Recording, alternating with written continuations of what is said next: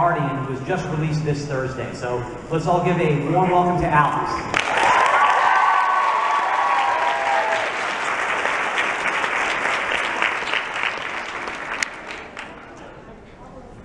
Oh yeah, I guess, well, uh, then I'm here, I guess, to introduce, uh,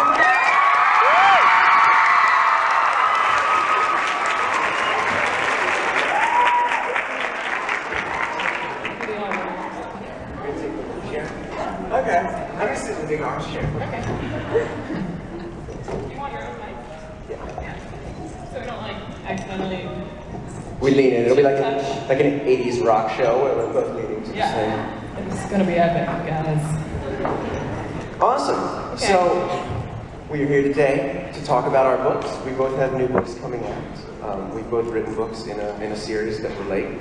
Uh, so I thought we could start, and actually you thought we could start, by just talking about our newest thing so that everyone Great. knows.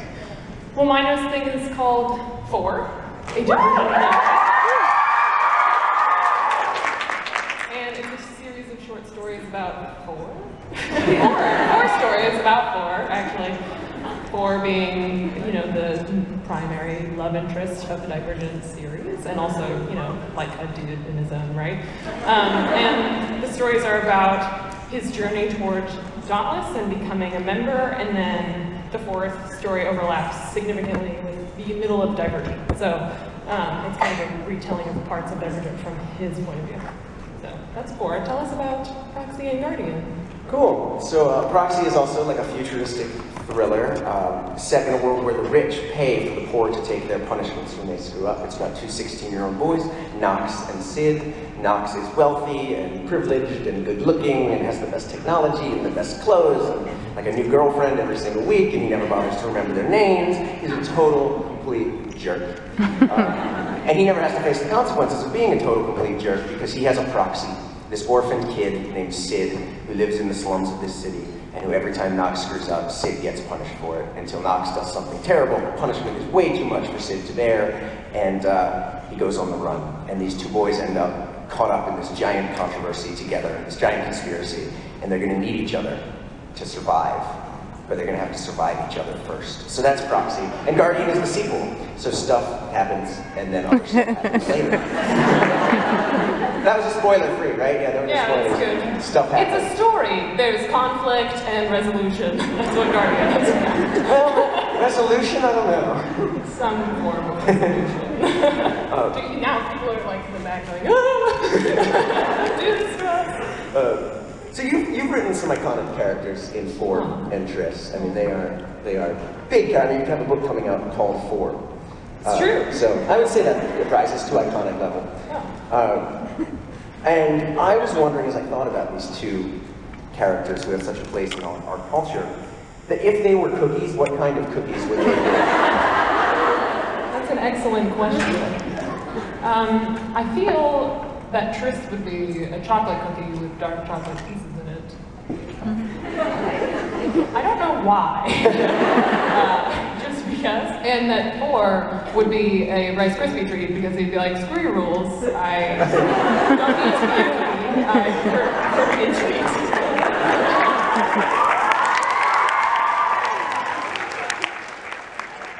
I, I want to know what Sid and Knox would be if they were cookies.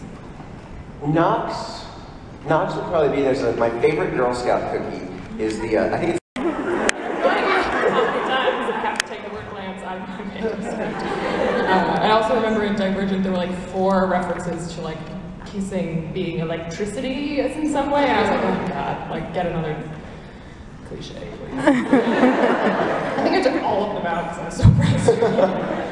um, God, what? Yeah, what about you? You, you I, there's a lot, bare my soul. There's a lot of shrugging and eye rolling. Yeah. Um, a lot of eye rolling. If people actually rolled their eyes as much in real life as they do in my books, all of them, all the books I've ever written, uh, it we, our retinas would detach. Yeah. but my more serious question is, do you find yourself returning to similar themes or similar elements in your stories time and time again? Yeah, Yeah. I do. What are they? An eighth grader once asked me to sum up all my works, the thing that held them all together, in one word, which I could not do. Oh my Um, god. I said no. I think my answer was no. No. Um, but I, I think a big theme that ties me together is it's this idea that you're not alone if you don't want to be. That like we, we are, and the world is filled with people, and if you reach out and make yourself vulnerable, um, things happen that, that matter. Um, they're not always painless things, um, but it, it can get you through. And you know, in the world of proxy, it's often framed as like a debt that you owe each other. Right. Um, but in other books, it's, it's framed differently. Um, but this idea that connection is the only thing can get us through. You know, ideologies, proxy, there's one ideology that sort of runs the world. Guardian, there's a different ideology that runs the world. Um, and it becomes dangerous when those ideologies replace humanity and, and people start looking to these big ideas instead of looking to each other. Which I think I am also obsessed with because the faction system is like that. Exactly. It's like this uh, system that we look to instead of looking to each other, instead of actually engaging with other human beings, we put them in categories and leave them over there because it's much easier. Um, I think one of my other obsessions is to have every character try to answer this question, which is, what do I do with my power? Um, and I think in the discussion of violence, this becomes particularly relevant. I mean, there are certain characters who engage in really violent behavior, like Marcus. Um, he's a powerful man, he has power over his family, and he uses his power for evil, as they say. Um, and, or just more seriously, in a, in a genuinely harmful and destructive way. But Tobias's central struggle is to figure out what he should do with his power, and I think that comes up a lot in the short stories when he's learning how to fight and realizes that he's physically capable um, and that he could become like his father or he could decide to be something else and it, that's one of his, his big questions but um, i find that every character i have is always trying to figure that out so i don't know what that says about me Well, I think it's a very like natural, like especially in, in young adult fiction, these teenage characters. I think that's such a natural part of being a teenager is realizing you have power. You can Right. shape the world for good or ill, but you can be the protagonist in your life um, and in other people's lives. yeah it's like the first time when you're like i can leave the house even if mom says no like i can just go Yeah, and it's like, made a lot do. I? well, I mean, because when you're a kid, you just like assume that the entire world is like living in your house, and that when you leave, it's like dangerous or something. When you're a teenager, you're like, oh, I can actually occupy this world, um, you know, on, on my own, and I can make decisions. And what and how do I make those decisions? What am I what am I going to do with this freedom and this like growing adulthood? And you're gonna mess up. Yeah, And uh, failure is inevitable. Yeah, which is one of the cool things I think in telling a, you know these big sci-fi stories that people write. When the kids mess up, the stakes are a lot higher than it is for your average, you know, 15-year-old in New York City. Right. Um, when they screw up, the fate of the world is at stake, or other people's lives, and that sort of thing. Yeah. Um, but I love it when they, I love when Tris and, and Tobias, when all these characters, when they get something wrong, when they screw up, or I love their flaws and their errors as they're trying to sort of learn how to be in the world and how to realize their power. Um, and they don't always get it right. That's one of the things I like most about Knox, I think, is that um, he's an incredibly privileged and ignorant person. And it's hard to read about a character like that because you're like, I do not root for you. I'm not rooting for you right now. But a lot of people are like Knox. Like I grew up a little bit like that. I grew up in a, in a wealthy town. Um, and as like a white straight person, and I have a lot of privilege because of those things. And it took me until adulthood to realize that, you know, um, what to do with that instead of you can either like cast a shadow on the people behind you or you can try to figure out ways to step aside and, and let the light shine on other people and that's a really difficult thing to navigate but i think knox kind of figures that out through the course of the book so i identified with him a lot despite also wanting to punch him in the face it's a scary Um, yeah, his privilege, his privilege. I also, I grew up very similar to you. I went to prep school and, and lived in a very wealthy area and didn't realize, but I, I grew up in Baltimore uh, in the 90s where sort of downtown Baltimore was falling apart and unemployment was really high and, and there was a lot of crime and I was completely ignorant of it all. Um, I was much like Knox, and so when I wrote Proxy, I really wanted to explore that privilege and how you know, you, if you grow up rough and hard and in a violent setting, yeah, it can, it can be bad for the soul, and that's what Sid deals with. Right. But privilege and an excess of privilege can also be bad for the soul. Too much privilege can destroy your childhood as well. Yeah. Uh, and so Knox learning how to live in his privilege, not deny that it exists, but how to, how to use it maybe for good and not evil. how do i use my power i'm telling you everyone's answer this question. how do I use my power? Well, that's actually a really good tip for writers. If you, you're, humans ask that all the time. So if you can answer that about your characters, you, you're making good progress. Do you, do you do anything else for all your characters? When you think, do you like plan your characters out? Not really. I mean, they kind of uh, appear in very different ways. So Tris came from a voice, voice. I wanted to tell the story, and then the character built from that. She's very like super direct and kind of repetitive a lot of the time, and she really doesn't describe very much, which is partly because I don't like to write description very much. Uh, it's amazing how that happens. but uh, and Tobias was the narrator of the original version of Divergent. Yeah, like I wrote it freshman year of college, so it's a really long time ago. Um, but You're you so old. I'm so old. no, really, 26 this year. Yeah. Uh, thank you. We don't have to apply for that. The slow and inev- like march toward an inevitable death is how I think about it. I'm. Uh, well, I started writing The Magicians uh, some- a long time ago, 2004. Uh, and uh, you'll remember that 2004 was in the um, just absolute desert of time that stretched out between the publication of Harry Potter and the Order of Phoenix and Harry Potter and the Half-Blood Prince. So in some ways, I was just trying to write myself a little methadone to to get me through. Uh, and actually, you know, you, you said the phrase thought experiment. It was a thought experiment. Um, uh, I, I, I began to think about uh, um, what happened if I was going to try to tell the story. Um, I, I was going to try to tell, tell the story uh, about someone who was more like who I was when I was uh, 17, I guess. Uh, actually, I started it more sort of Harry Potter age, and then I aged it up because my imagination was so filthy and obscene, it seemed wrong to do this to uh, uh, high school age kids. Um, uh, and I, I, I- started to think about, yeah, well, how would, what would if you took this story, which is a very English story, and what if you if you trans, tran transplanted it into American soil? Um, uh, what sort of weird, twisted, twisted kind of vegetable would it grow? And you know, things were things were very different. The characters talked differently. Um, uh, they, um, they, they they took drugs. They had sex with each other. I mean, you know, just it was a very different kind of uh, it was a very different kind of story came out. historian of science, so I study worldview. I study how people make up stories about the world we live in and how it works.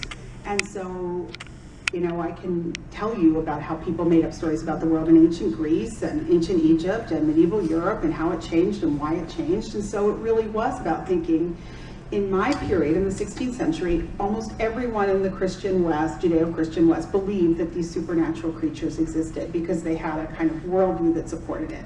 In our technological era, it's a little harder to explain why so many people love these supernatural beings because our worldview doesn't really support them. So then I had to think about, okay, so if if they're real, like my research subjects believe, what would need to happen? Well, vampires could not explode in sunlight because if my neighbor was in that situation, I would know. vampires can't like sparkle or have fangs for same reason. You know, if my neighbor had fangs, I would notice this. And I can think, well, they can't just like be working the night shift at the police station and the hospital, which is so it was like that for each of these groups. And then I had to explain why human beings didn't see these creatures. And I was like, oh, well, but the human being's special talent is obviously denial. So that was how I said my worldview, and that's where we went from there. Lev, how about you? How did you create your framework, the framework for your world? Um, I, I was I was I was desperately as as Deb was answering, I was going, does my, does my world have a framework? I, bet, I better create one right now. It does. As a historian of It's not too late. it does. um, there was a lot of, uh, you know, there was just there was just a lot of thought experimenting. Honestly, uh, I, um, uh, you know, in some ways, I was uh, uh, working with this idea of telling this very um, traditionally. Jo Rowling had the Potter books mapped out. Um, Deborah, let's start with you. Can you talk a little bit about what, where you got the idea and what it was like? Well, the idea really began as a sort of thought experiment after seeing a very large display of books about werewolves, fairies, witches, goblins, ghosts, vampires, etc. at the Puerto Vallarta airport. And I started thinking if there really were all of these creatures living, like where did they live and why didn't I see them and what did they do for a living and how might they date? And I started writing about that, and I think I thought I was writing an op-ed piece on the popular fascination with supernatural creatures.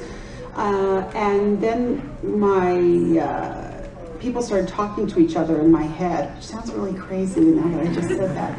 Um, and and I started to write, and sort of eight weeks later, I had about 100 pages, and I thought, I think I'm writing a novel. and, and, and I thought when I started that I was writing a novel, one book with three parts. And part one was in the present, part two was in the past, and part one was in the present. So sort of like an Oreo cookie of a novel. And then I hit about page 400 of part one and realized that this could not be a single book. Um, but it was always structured as, as that with that kind of back and forth movement. And I knew where I was starting and I knew where I wanted the middle of the journey to be and I knew where the end was. But it was almost like um, planning a road trip from Los Angeles to New York City where you know that you sort of are going to take these major highways, but you don't know what exit you're taking to get like coffee or where you're going to spend the night. And so even though there was a plan, there were also all kinds of really wonderful detours. So kind of a mix of those things. Well, did you, did you feel like you were able to close all the loops up in the third book? Because you have a lot of balls in the air there. yes, a great personal sacrifice. Because the thing I love most about writing is coming up with new characters but if you're actually trying to finish a trilogy, there's just a limited number of new characters you can introduce before your editor threatens to kill you. so, um, so I, that impulse to kind of want to go this detour and oh, let's put this person in. You, I had to, you had to be. I don't know if Lev found this the same, but I had to be extremely disciplined about um, sort of taking lots of extra exit ramps in book three because then I'd never get back on the highway to get you to the end.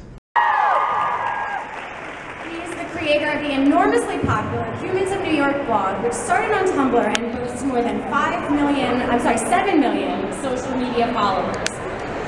The blog, a collection of photos and insights from New Yorkers in all walks of life, has inspired coming next. At the end of the panel, there'll be an audience Q&A. So without here is David and Brandon.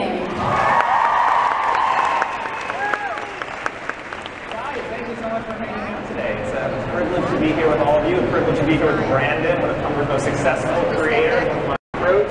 It's probably back in Chicago, back when I was still working in finance. Uh, I remember there was, I wish we had a picture of, there was these two little kids, they didn't know each other. It's, it's really such an interesting picture. There's, and I guess it's appropriate because we're, we're a kid's book, but there are these two children, and, and they were together. Their moms were on each side of them. They didn't know each other.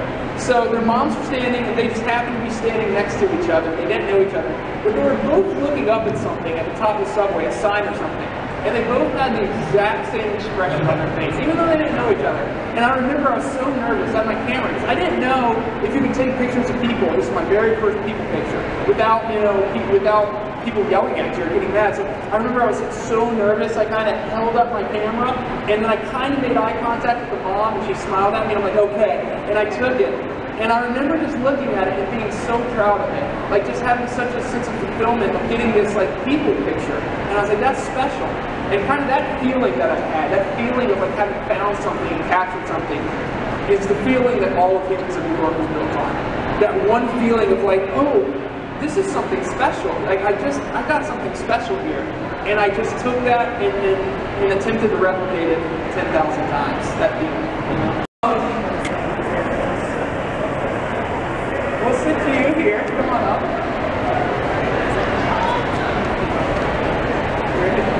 What's your name? Shannon. So nice to meet you. Just take a seat here. Okay. Um, and so I will just pretend like, I'll just walk you guys through the entire thing, the approach, the questions. Shannon, don't feel, this is just to demonstrate, so don't feel pressured to say anything profound or anything, because Shannon's at a disadvantage. Normally, I do these interviews just one-on-one. In fact, something that's very interesting about Humans in New York that just always fascinates me is that somebody could know that their picture is going to go on the blog with their story that night and be seen by millions and millions of people. But if they're best friends with them, they'll completely clam up. Isn't that interesting? So Shannon's at a very big disadvantage because we're doing we're doing this in front of hundreds of people. Normally it's a very intimate process, but she's agreed to step up here and help, just so I can kind of demonstrate what I'm thinking when I'm approaching people. Um, so Shannon, you're just sitting there. Let's say you're working at uh, you're working at um, uh, Starbucks and uh, you're outside taking a break, and so I see Shannon across the street. Um, and so one thing, the, the first rule I always have is never approach people from behind. Because, yeah, no, I found that, you know, if you approach somebody from behind, no matter how good you do the rest of the process, if their first interaction to you is one of fear, it's over. So what I always do, even if I'm behind Shannon, I will run around just just to approach her from the front. And so, like I said, when I started, about two out of three people said no, and now about one out of every three people say no. And so, what is it that I've learned from that, that to double the acceptance rate? When I was first starting, I was always experimenting with words. You know, what are the exact words I'm going to say to allow a stranger to let me take their photo on the street and then really open up to me? I was like, I experimented with using the word photograph versus portrait. Do I explain everything, or do I just do I just ask if I could take a photo? And then along the way, I realized it really had nothing to do with what I was